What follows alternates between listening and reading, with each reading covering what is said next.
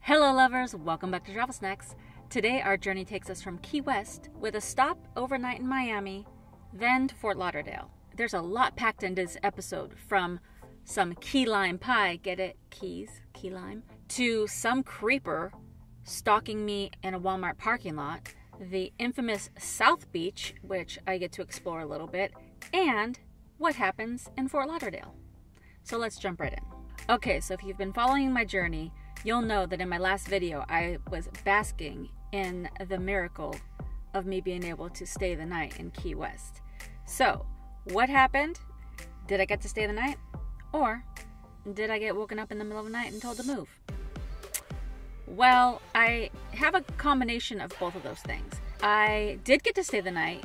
I did get woken up, but I wasn't asked to move. Basically, I was woken up because there was a little posse of roosters just roaming around the parking lot, cockadoodle doing all night.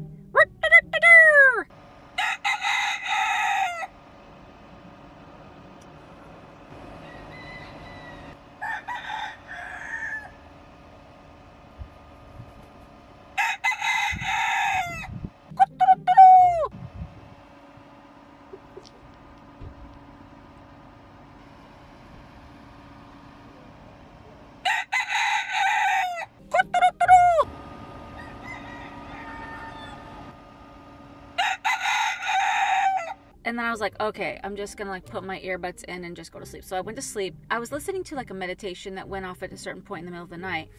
And then at like 5 a.m., this dang rooster hops on there, latches on with his feet, and was like on Old McDonald's farm and was just like,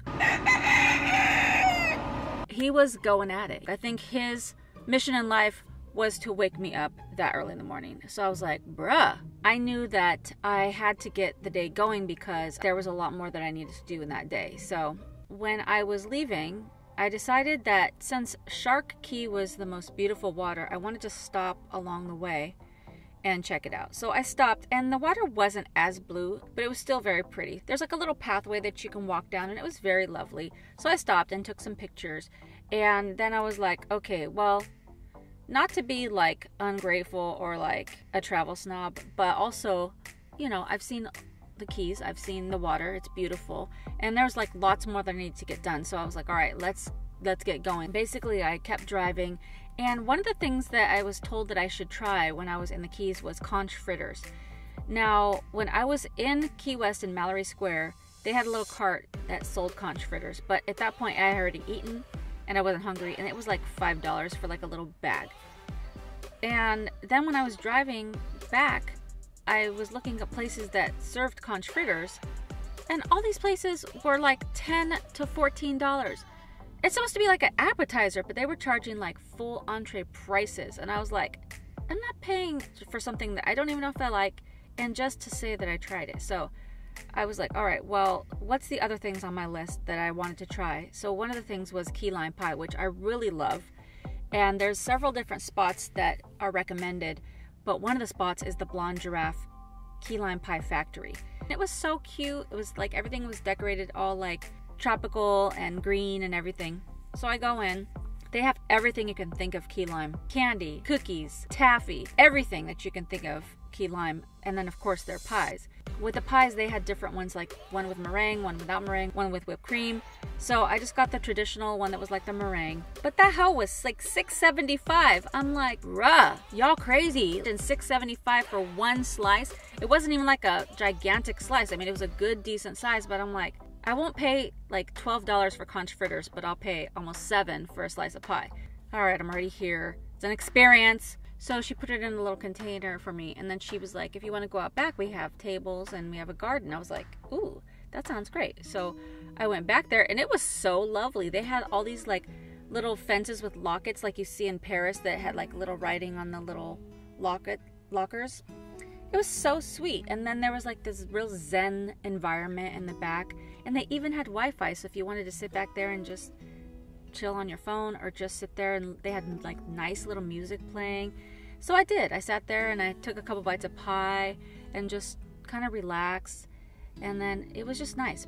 So I finished up with my little Zen time, and as I'm walking to the car, I see an iguana. The weirdest thing about that is that a couple days before that, my mom called and she was like, Oh, did you hear the news? And I was like, You know, I don't watch the news, so no. She's like, Iguanas are falling out of trees in Miami. I was like, I'm sorry, what?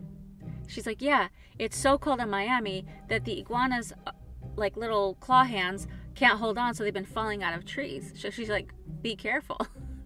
What? That's crazy. So when I saw this iguana, I was like, did he just fall out of a tree or did he just jump out of the bush? Luckily, an iguana didn't fall on top of my car while I was sleeping because that would be scary to hear just like a big thump in the middle of the night. But that did not happen. So, anyways, I saw my iguana and then I got back on the road. And then I just had like such a lovely drive to Miami. It was kind of dark and gloomy. It started to rain a little bit. And it's just very relaxing and very nice. Definitely a place that I would go back to again when I have more time, and maybe a hotel. As of this recording, we're at 940 subscribers. Are you one of them? If not, hit the subscribe button, hit the notification bell so you'll know every time I upload a new video, and throw a like on it.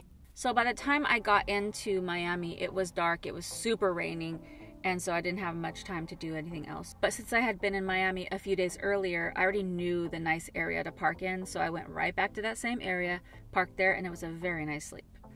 All right, so the next morning I got up, I did a little air, a few errands, went to Walmart and stuff, and I wanted to talk to my friend Angel. So I went to the Walmart parking lot, and there was like a Walmart, and then there was a Ross, and the parking lot was huge, and like I was the furthest spot back, like on the Ross side, and I was just sitting there in a space surrounded by nobody, just talking. So this guy in a navy blue Mercedes comes and parks like maybe four spots over from me, which is already suspicious because I was in the middle of the parking lot of nowhere. And so I was just like talking, talking. I look over and he's just like staring over at my car. Now I have tinted windows, but still, I don't know. Like when the sun is shining, sometimes you can see in a little bit. So then he pulls off and he goes, and I see him like driving around the parking lot just kind of like going in circles. And I'm like, what is this dude doing? So I just kept talking. And then he circles back around and comes closer to my car with his car and just parks and just stares at my car. I was like, okay.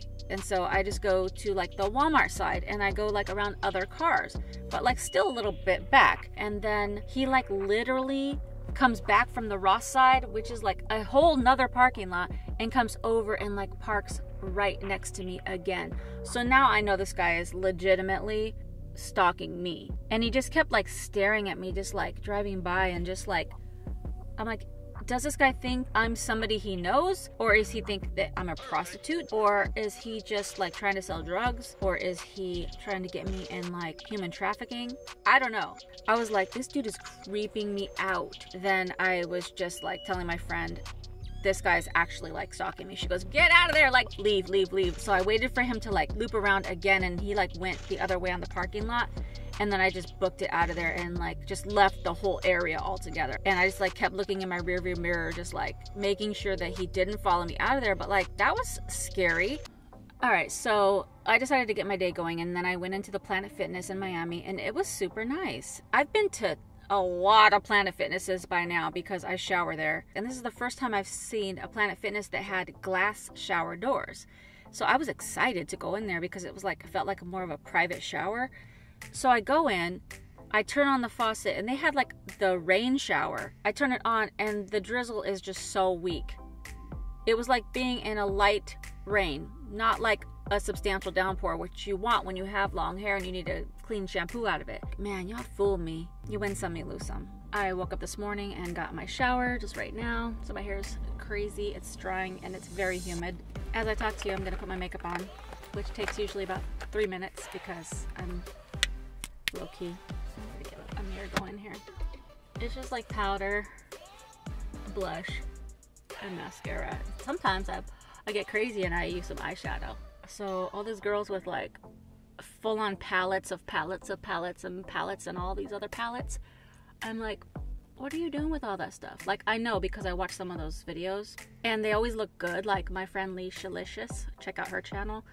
Her name's Alicia, but her channel's Leisha Licious. She always does such great makeup and I'm like, oh, I want her to do my makeup. But for now, I just do mine basic. I don't even contour any of that. And yes, I have to do that with my mouth. I just, I don't know why. And that's it. I mean, you know, that's what it does. After I got my shower, I looked up a laundromat because I'm at that point in my journey where a lot of my clothes are dirty. And there's a lot of good rated laundromats in Miami, which is great. But there was one that stood out to me. It's called El Tio Coin Laundry e Coffee Shop. So I think I'm in Little Havana. But I went in and all the machines are very clean. The price was okay. It was like 350 for a wash and I think it's like a dollar for a dry. And the greatest part about this place though, why I chose it is because they have one of those walk-up windows like you see in like Keeping Up with the Kardashians where Khloe just goes up and she's like addicted to Cordito.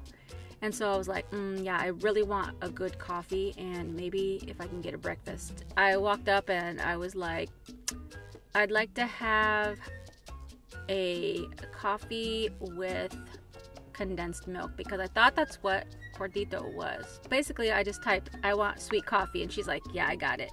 So then she like whipped it up and I got it. And it is delicious. Whatever she did to this, legit.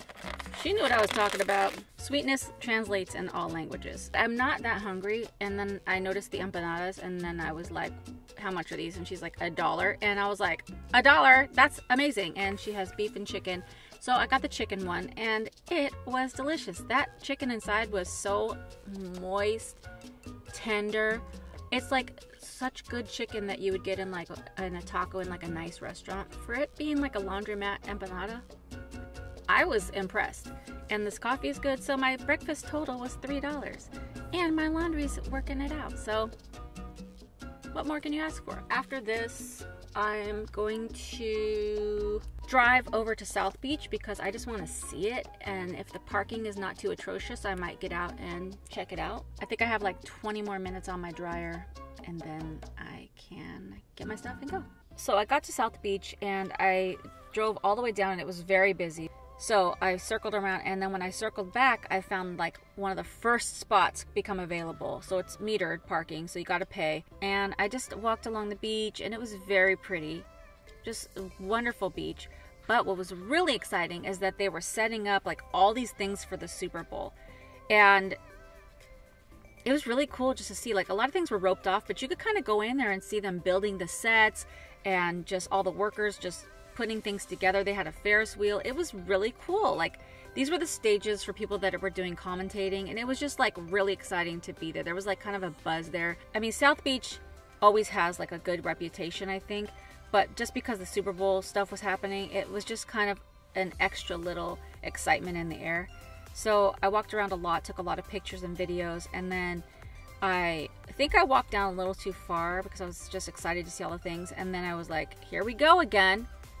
Now I have to book it back to my car because these people are not joking in these South Florida areas. Like they will tow your car.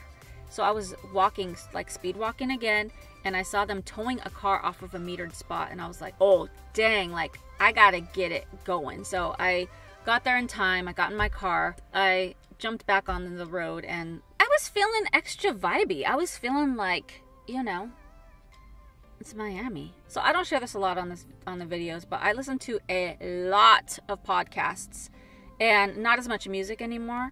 But this day I was feeling, you know, feeling good and so I put on a bunch of music. So I was just like feeling the vibes of Miami and it was just nice to be able to have my little road trip music going. I'd love to share my road trip playlist with you guys, but since YouTube does like copyright strikes on videos that have popular music, I can't really like show you. If you're good at lip reading, you can maybe find out what songs I'm singing and put it in the comments. I'll be super impressed. Okay, so I was driving to Fort Lauderdale. It's not very far from Miami. I get there. I'm driving through and I'm like, is this it? Like, but there were some other things on my list for Fort Lauderdale.